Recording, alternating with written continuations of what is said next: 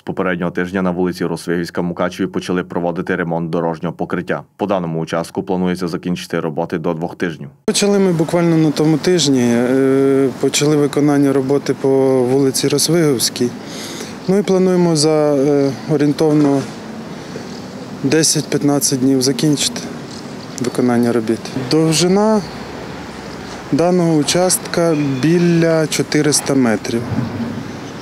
От, е, даний участок має 40% від загальної е, квадратури е, вулиці. Ремонт проводиться за кошти міського бюджету. Місцеві кажуть, ця ділянка дороги давно потребувала ремонту. Однієї сторони треба, другої сторони треба, щоб в нас вже був на кінець то мир для перемоги.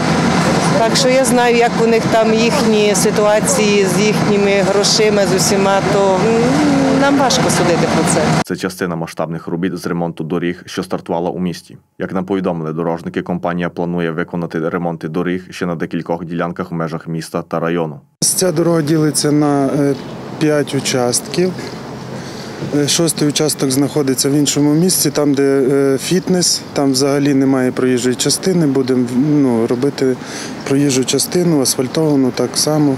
Працювали в селах Нове Давидково, е, Нижній Коропець, Дерцин, Доробратово.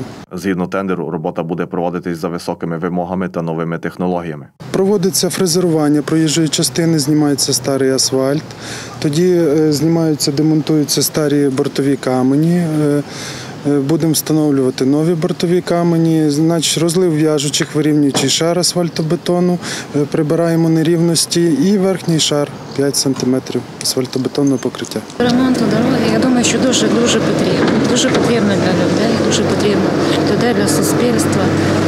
Е, Люди мають їхати, хто на роботу, хто, хто на вирощування, хто в яких справах. Старе покриття, яке зрізають фрезою, потім покривають новим асфальтом. Дорожники кажуть, після повної заміни дорожнього покриття на новий асфальт надають гарантію терміном 5-10 років.